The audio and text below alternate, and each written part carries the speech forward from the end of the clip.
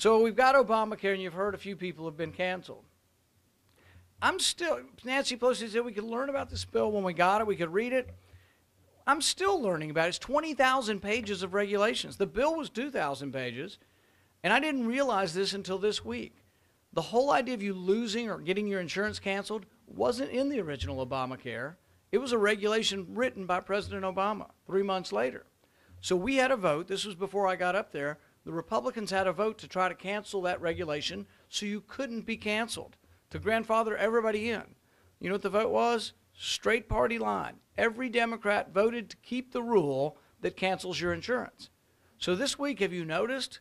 Democrats are like going to the White House and saying, Mr. President, what did you do? We're not responsible for this. The president canceled your insurance, but not us because we're running in the South now and we got a, a, a, Republican running against us. So Mary Landrieu, she didn't have anything to do with it. Neither did Mark Pryor. Well, guess what they did? They voted specifically, not just for Obamacare, they voted for the rule that says if your insurance ever changes, you'll be canceled. So think about this. If it ever changes, this isn't a question of some people being canceled. Everyone will eventually be canceled because insurance companies, the, the policies become more expensive over time. That change causes it to be ineligible for the grandfather rule, and you will be canceled. This is going to happen to the employer policies also. Why?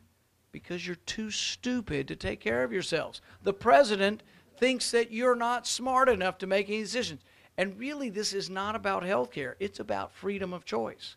It's about freedom. It's about whether you should have the liberty to buy something. What comes after health care? Somebody might someday say, We're going to ban the big gulp. How would that be? Oh, that's right. They already did that. Sorry.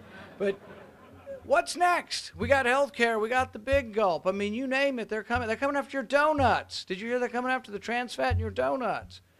So I had a. I mentioned this today, and unfortunately, my my wife tells me I should count to ten before I speak sometimes, but I couldn't help. The FDA has banned unilaterally. Some unelected bureaucrat has banned trans fats. And so I said, we need to line every one of them up. I want to see how skinny or how fat the FDA agents are that are making the rules on this.